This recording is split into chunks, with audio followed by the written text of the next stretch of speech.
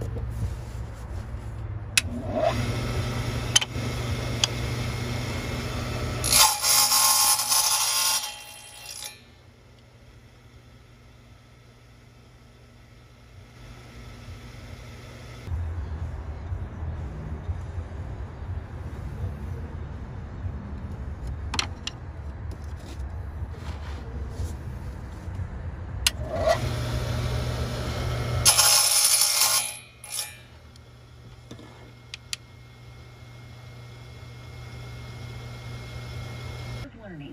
News Time at 948. More U.S. military help on the way for Ukraine. President Biden is expected to make that announcement shortly.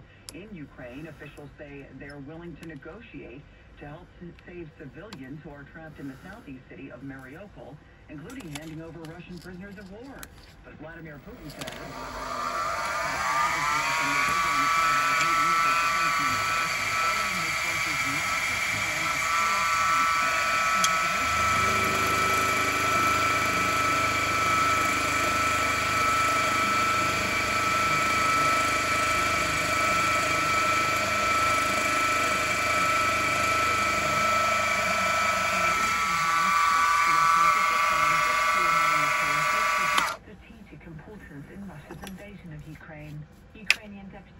Minister Irina Vereshchuk demanded that a humanitarian corridor is created from the steel plant to release about a thousand civilians and 500 wounded soldiers.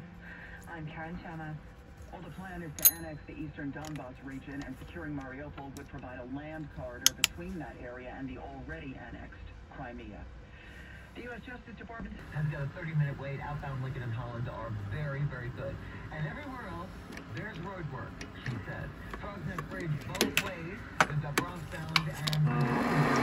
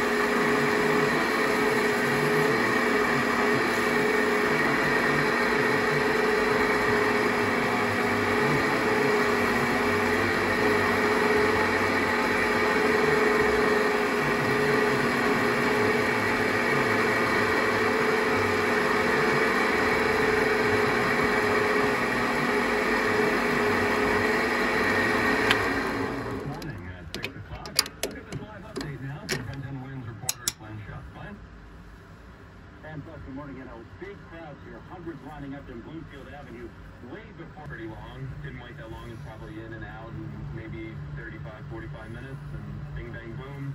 Order at the kiosk. Pick up your order. and pay. That's it. And I've been a marijuana smoker for almost 20 years at this point.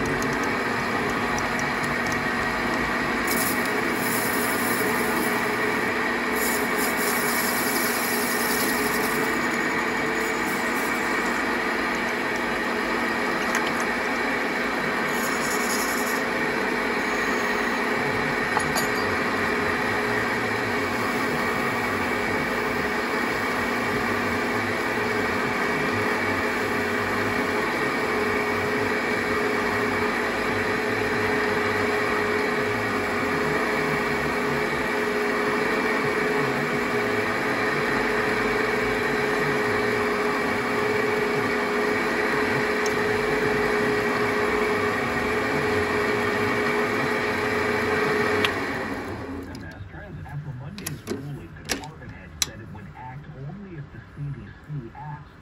Moments after the agency said keeping the mandates necessary for public health, the Justice Department filed a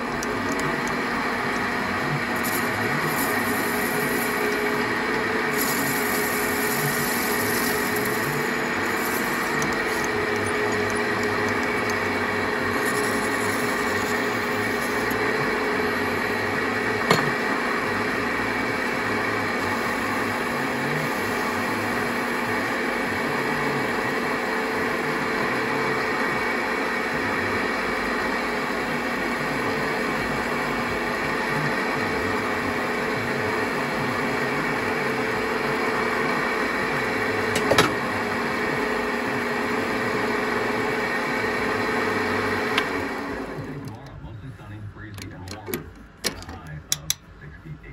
WINS News Time, 10.06. The story has a headline, or a slug, as we sometimes call it in the business, that gets your immediate attention. Was particularly harmful for members, staff, and institutional workers still grappling with the trauma of the attack on their workplace on January 6th. Adding, Congress looks forward to reviewing the results of a thorough after-action review that determines what precisely went wrong today. A report from correspondent Dion Lim. WINS News Time, 10.08. It's a pretty special day at Windsor Castle and throughout England, actually. Birthday. She's 96. The Queen is said to be spending the day at the monarchy's Sandringham estate in eastern England, which we all know from the series The Crown. How to celebrate the Queen's 96th birthday? Could there be any honor higher than this? Barbie is getting the royal treatment. To honor Queen Elizabeth II's 96th birthday and her platinum jubilee, Mattel is out with a Barbie doll. Nassau County is slow traffic trying to get out of 40 and into exit 39 for Glen Cove Road.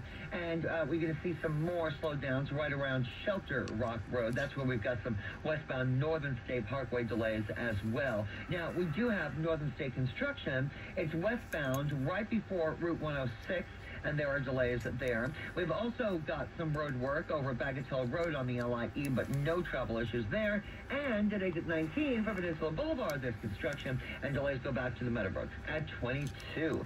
So the Verrazano Bridge looks good. As a matter of fact, all of our Staten Island River, uh, Staten Island River crossings are looking good.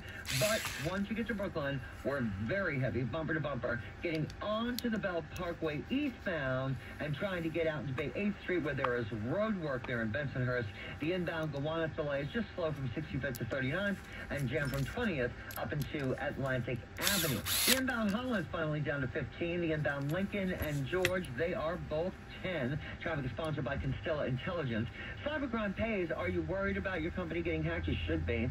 Constella Intelligence says your executives and company are at risk from a wide range of digital threats. Try Constella free to find.